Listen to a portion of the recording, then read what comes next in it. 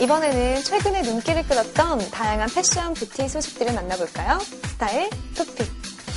들어오자마자 또 이렇게 눈이 흐릿머릿해서 보고 있는데 슈즈가 제일 예쁘니까 네, 너무 예쁘다. 럭셔리 액세서리 브랜드 제이에서 매장 reopen과 함께 특별한 컬렉션을 선보였다. 이번 행사를 축하하기 위해 트렌드를 리드하는 셀러브리티들이 총출동해 눈길을 끌었는데 특히 이날 행사는 성폭행에 의한 에이즈 감염 피해를 막기 위해 판매 금액의 25%를 엘튼 존 에이즈 재단에 기부하는 PEP 컬렉션을 선보여 더욱 의미가 있었다.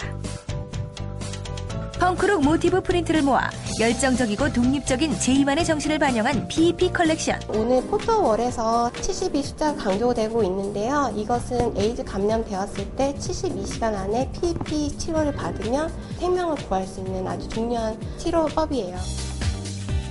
이날 제이 브랜드는 PEP 컬렉션 외에도 2010 크루즈 라인을 처음으로 선보였는데 뱀피와 calf 소재의 stud 장식이 포인트된 엣지 있는 라인들은 패션 people들의 마음을 사로잡기에 충분했다.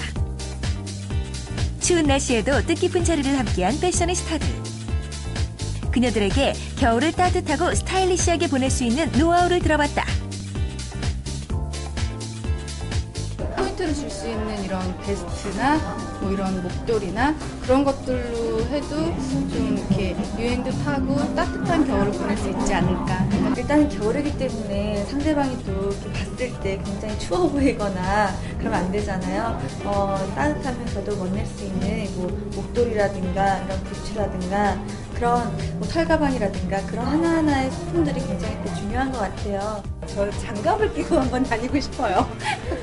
실내를 들어가면 다 따뜻하게 난방이 너무 잘 돼 있기 때문에 안에는 이렇게 얇게 예쁘게 입고 그리고 겉에는 따뜻한 코트 좀 멋스러운 코트 하나 딱 입어주는 게 굉장히 필수품인 것 같아요.